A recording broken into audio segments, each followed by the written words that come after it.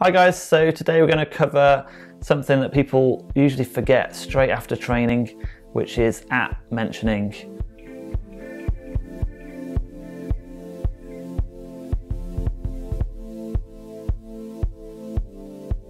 So today we're going to talk about remembering to do an at mention in every new post you put on Teams, unless it's a reply. We're also going to talk about some changes that Microsoft have made to the way you can at mention channels. So let's dive straight into the basics. So I'm in a test team here and remember if I just start typing something and hit enter, it will go straight into that chat window. And if we haven't at mentioned anybody, we can safely assume that no one's going to see that message, especially in high traffic teams, because when someone puts another message beneath you or replies to a message above you, everything gets sorted in order of the latest message at the bottom in Teams. So someone's replied to a thread above you, that entire thread will jump down to the bottom and bump your message off the top. And if someone then replies beneath you and does an at mention for the whole channel, people are going to see that notification pop up in their activity feed. When they click that notification, they get taken to the channel and your message might have been in one of those things that they've not read and then there's no prompt for them to go back. If you do mention someone individually or the channel, then at least it's they're going to get notified and it's going to appear in their feed to go back through and have a look at before. So very briefly, Teams just try to help you out. So it says start a new conversation, type at to mention somebody.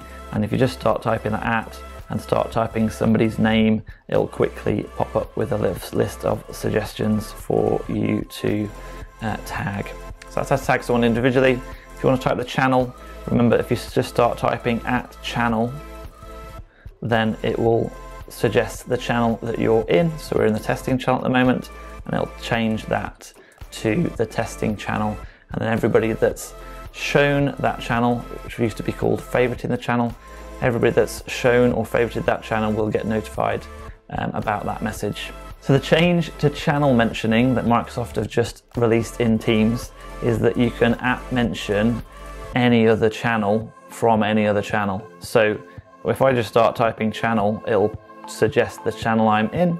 If I want to at mention another channel, so if I want to at mention everybody that's following or has shown testing, as well as everybody that's favorited or following the channel recapture here, I can at mention both of those people. I want to be really careful about tagging general by accident. So we've already seen some people have tagged general in a channel that's not related to general it's not applicable to everybody, but then everybody in the entire MFST is getting pinged because general is the only channel that you can't unfavorite or hide.